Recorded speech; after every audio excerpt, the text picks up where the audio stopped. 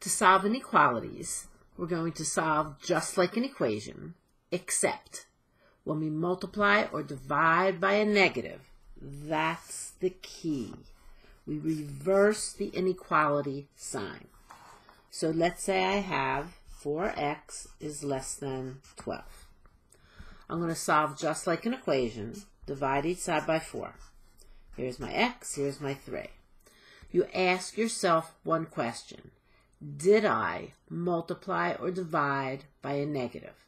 And in our case, we'll be dividing. I am dividing by 4. This is the key. That's a positive. So our inequality remains the same. x is less than 3. If I want to solve minus 3x is greater than equal to 24. I solve just like an equation. I'm going to divide by each side by negative 3. I get x, I get negative 8. I ask one question. Did I divide by a negative? Yes. If I divide by a negative, I don't touch this sign. I change my inequality sign from greater than or equal to to less than or equal to. That's the key. Let's say I have negative 10x is greater than 20. I divide each side by negative 10. Here I get x, here I get negative 2. Did I divide by a negative? Yes, I reverse the inequality sign. Let's say I have something like this. x negative 7 is less than negative 4. I solve just like an equation. In this case, I'm going to have to add 7.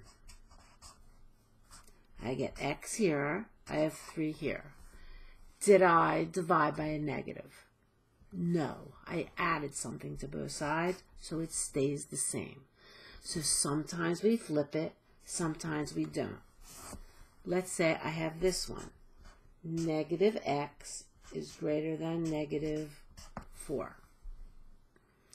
I want to know what x is. Right now, this is solved for negative x.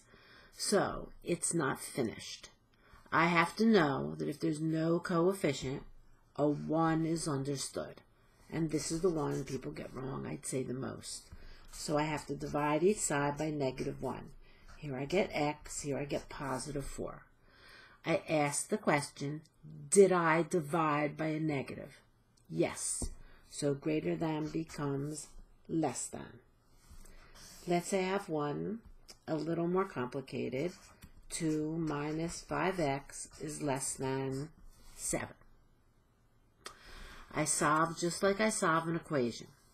I subtract 2, subtract 2. I end up with negative 5x. I get a 5 over here. Did I divide by negative? No. I subtracted.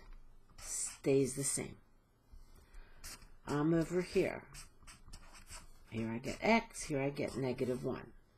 Did I divide by a negative? Yes. So less than becomes greater than. We'll do one more inequality, but we'll do a little bigger one. Let's say I have one like this. 5 times x minus 3 greater than 2x minus 12. I solve it just like an equation. I'm only going to have to worry about my last step. So distributive property, 5x minus 15. I have 2x minus 12. Solve the equation. Subtract 2x, subtract 2x. 3x minus 15 is greater than negative 12. I'm still solving just like an equation. I want x all by itself. Add 15, add 15. Here I get 3x, here I get 3. I still added 15. Now, I'm going to divide by 3.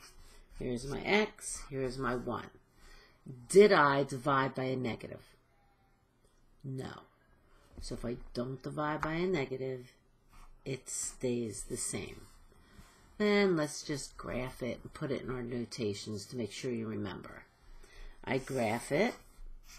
Here's 1. Greater goes this way. It doesn't have or equal, a parenthesis. Interval notation is this interval. So there's no or equal, so there's no bracket. It goes from 1 all the way to positive infinity. Set builder. I'm dealing with an x, so I have x such that x is greater than 1.